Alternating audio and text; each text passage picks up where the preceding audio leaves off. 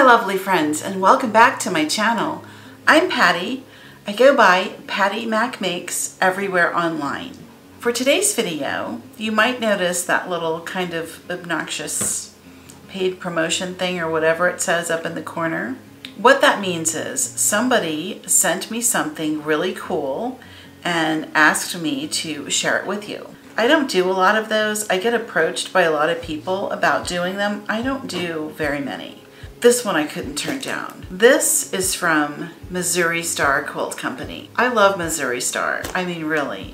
My dream is to have my very own Airstream trailer that I get to take on quilt tours like, I don't know, maybe three months out of the year. That's my pie in the sky dream. And of course, I would have to get a Hamilton and see the girls at Missouri Star. They contacted me by email and asked if I would be interested in being part of their team of influencers to share different products and to make some of their projects with you here on my channel. And I said I would be absolutely thrilled. So I got to go to the website and they let me pick out whatever I wanted to pick out. And I got kind of a little cross section of things and I wanted to share them with you today. I wound up picking fabrics from one collection because I just thought, well, if I make like a bag or placemats or something like that, it's going to be easier if I have everything from one collection because then it's all going to, you know, work together. So I wound up getting a fat quarter bundle. I got a jelly roll, uh, package of jelly roll strips, and I got a one yard cut of the yardage that coordinates with the pre-cuts. I also uh, asked if I could have an Olfa rotary cutter because I've never used the Olfa and I've been wanting to try them. They're supposed to be really good and you know all of the people on the, the, the big quilt channels use these so I said I would like to have one. So we'll compare this to my usual Fiskars. And I got it in the 45 millimeter size because that's my favorite size. So I got that for a tool. I got these for fabrics. And then I got this as kind of a large tool. And I was really excited to uh, get this and try it out because it's, she calls it a doohickey. It's doohickey designs and it's called a ruler roundup. And so I have a place where I keep all of my rulers when I'm not working. So they're all organized. I'm looking at them now. I keep them on my uh, SKADIS pegboard. So they're nice and neat and I always know where everything is. But when I'm in a project, I'm using several different rulers typically and you know they can get to be kind of a mess and then uh, you know they can get a little bit scattered about. So with this, I can take all of the rulers that I'm going to use in a project and get them all out at once and then they'll all be organized for me with this uh, doohickey, this ruler roundup. Uh, I work in a kind of a small space and I don't have, you know, a ton of storage and things sitting around to help me organize. So it can really be challenging for me to keep everything straight.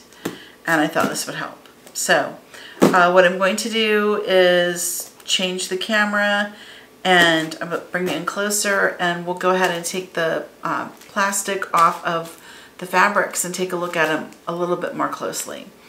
I have been looking at this for a while and I'm really excited about it. It's from Riley Blake and it's called Hibiscus and it's so pretty. And I was kind of excited because uh, when I got it, I was going back through uh, some of the videos. I have to be honest, my favorite maker on Missouri Star is Misty. I love Misty's projects and it was kind of exciting when I ordered this and I went back and was looking through some of the videos. Uh, she has a quilt where she used this fabric and it's so pretty and I thought, oh, isn't that interesting? I picked Misty's fabric. so anyway, uh, let's uh, let me change the camera and we'll move in closer and I'll show you exactly what I have.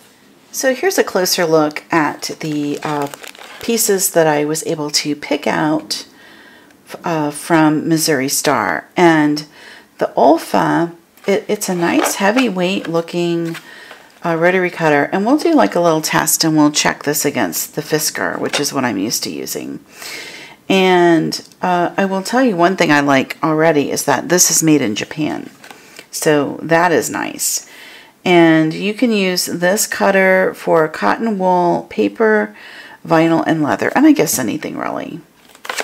And it's supposed to be quick changing with the blades and all kinds of stuff. So uh, as we get into it, we'll we'll see how that is. But I'm kind of excited about it. I watched a video from uh, Karen on Just Get It Done quilts, and she interviewed somebody who works with Olfa, and they talked quite a bit about the, the rotary cutters, and that's what really got me interested in trying them. So I thought when Missouri Star gave me a budget and told me I could pick whatever I wanted, I was like, well, I'm going to get a couple of tools and some different cuts of fabric to try out. So anyway, that's how I got the Olfa.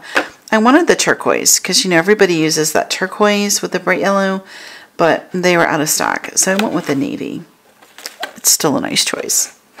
Okay, we'll put that to the side. Uh, what do we want to look at first? I guess we could look at the jelly roll. And I'm going to go ahead and open it.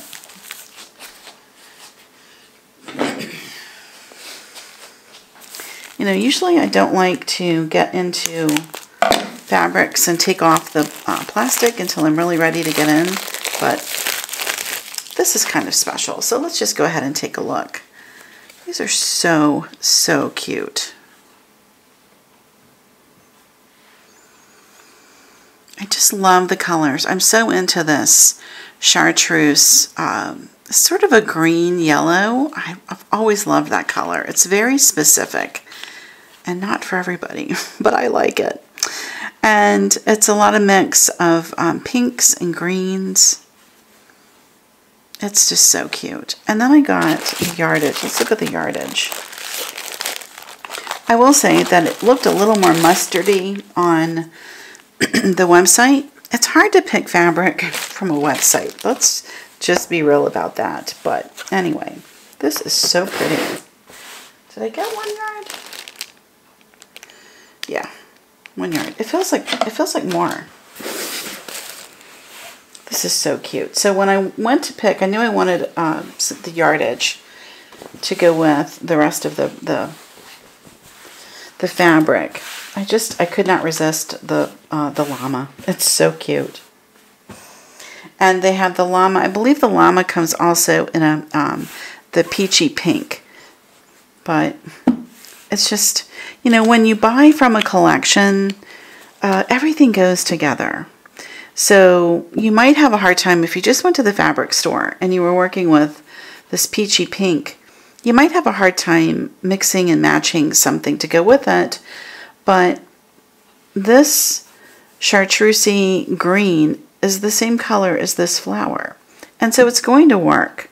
No matter what, it's going to work. And that's why I like when I'm doing a quilt project or something that's going to use more than a couple of colors. I just find it's easier if you pick a collection you like and work within that collection, which is why the fat quarters are so nice. When you buy a fat quarter collection, what you're getting is uh, one cut of each print in that collection. And so like some of the collections are really, really big because they have a lot of uh, designs within that collection. And some of them are smaller because they have fewer designs. So that's how that works. When you get a jelly roll, uh, a jelly roll is always going to be 42 strips. So what'll happen is you'll get more or less of each print depending on how many prints are in the collection. So if you have a collection with 10 prints, you would wind up getting uh, four strips of each print basically. That's how they do that. That's always going to be 42, but your fat quarter um, package is going to be different depending on how much is how many prints are in the collection.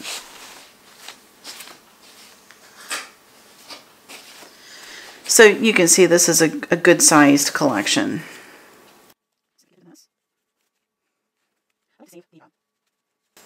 I like to save the little ribbony things because, you know, you can always use those later. Just take a look at these fabrics. Let me change the camera a little bit so you can see Okay, that better. I changed my exposure and I changed the white balance and I think that's a better representation of the color in the fabrics. So we'll just kind of roll through them and see what we've got. I'm not going to open them up, but we'll just go through and see what's in here. And it's called Hibiscus.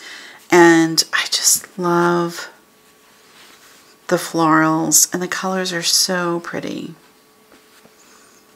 Oh, look at that one. Oh, it's got little cactuses. Succulents, I guess you would call them. Oh, see, I was right. So I told you I thought that alpaca, it was in that uh, chartreusey green. It's also in that peachy pink. Isn't that sweet? And then they have a stripe. I love this color. And then here's your more of your uh, neutrals, your low volumes, I should call them.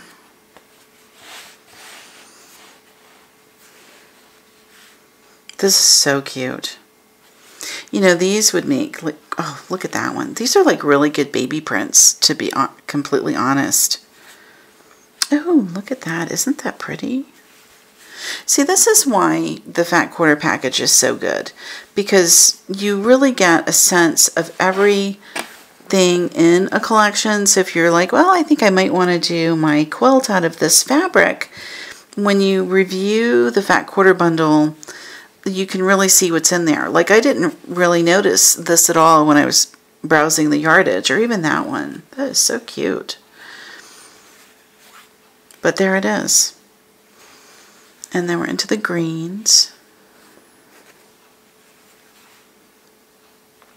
Oh, look at this. That little alpaca comes in a green also. That's so cute. And then a really pretty stripe. Oh, this is so pretty. I like anything with, with a floral. And there's the cactus again. Oh, I like them so much. Oh, and here's like that confetti, but in a green. Oh, look at that. And then the flowers. They're almost like a little fan with the green. Oh, and then a chartreuse.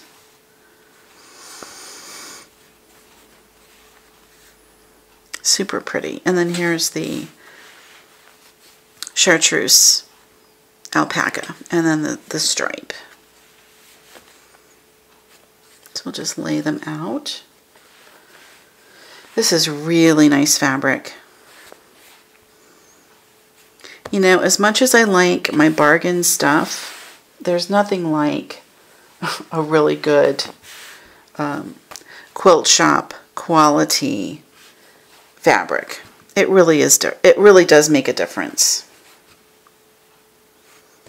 Oh, so they didn't do in the chartreuse the uh, they didn't do these two prints in the chartreuse. Isn't that interesting?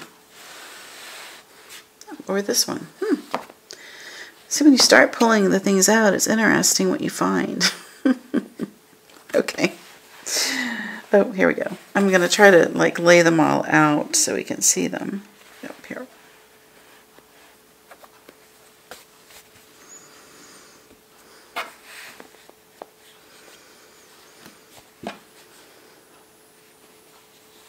Oh, that's interesting. So they don't have the, um, hmm.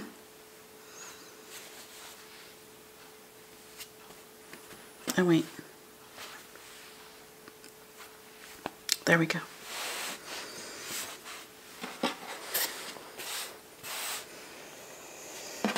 So the minty green, that's like this, uh, you only have a couple in the minty green.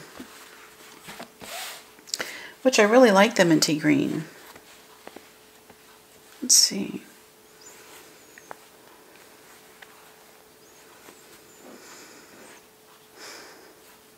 Very interesting. So this is, these are almost like um, sheets. Like that would make, this would be perfect for pillowcases, to be honest. That That's like perfect sheet material, both of these.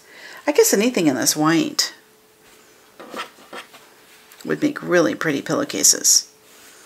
So that's what you've got. That's a nice collection.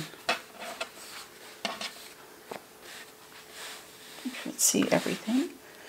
Pull everything in. So there it is. There's the hibiscus. gosh, I don't know what my favorite is. It's super nice fabric though. I mean, really, really nice heavyweight. You know, I do a lot of my stuff at Joann, and I have to tell you, this is this is a lot nicer. Sometimes you just want to run to the store and grab what you what you want in the moment. And I also like to see what I'm getting in person, but I have to say the the quality of this is much much nicer.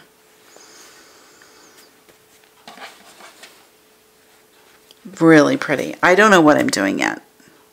I'm not sure. I was thinking about taking the um, the jelly roll strips and remaking my um, my quilted bag that I carry.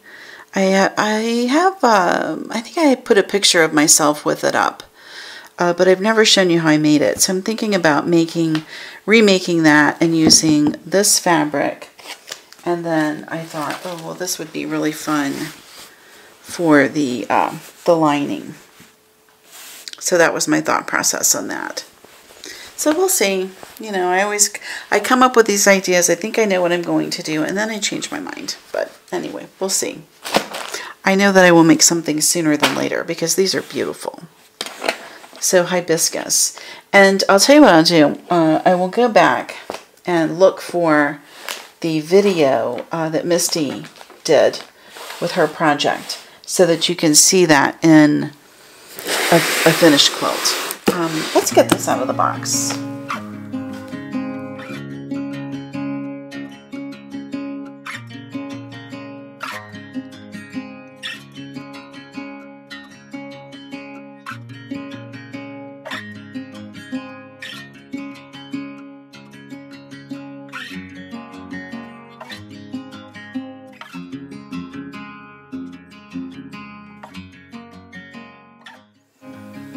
Okay, let's get into this box. Uh, what I want to say, first of all, what really strikes me is that uh, this product is made in the USA. so I really like that. So Doohickey Designs, I'll have to look into them more. They apparently have patterns, rulers, and cutting mats. So we'll have to investigate them more closely because if you don't know, I'm like really uh, big on anything made, well, not anything, but on uh, having or first selecting my products as made in the USA. That means a lot to me. So it's in a very nice box. And it looks like this.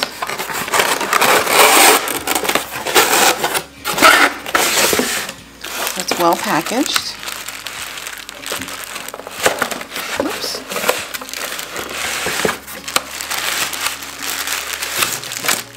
I have to tell you, so I saw this thing on the website and I was like, oh yeah, I like that. And I was really surprised at how big and heavy it was.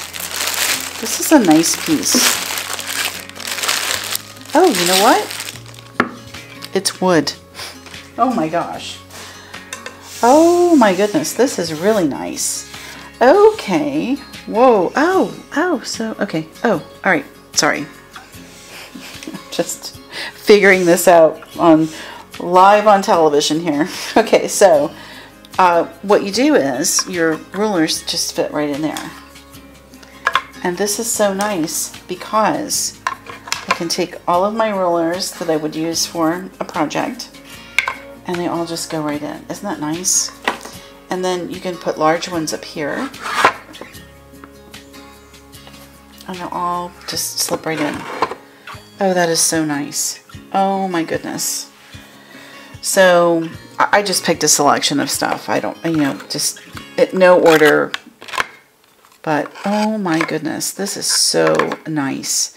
And so when I'm working, you know, I do everything on this tabletop, which is a, a kitchen island. That's my cutting space, my, my workspace. So I do everything here.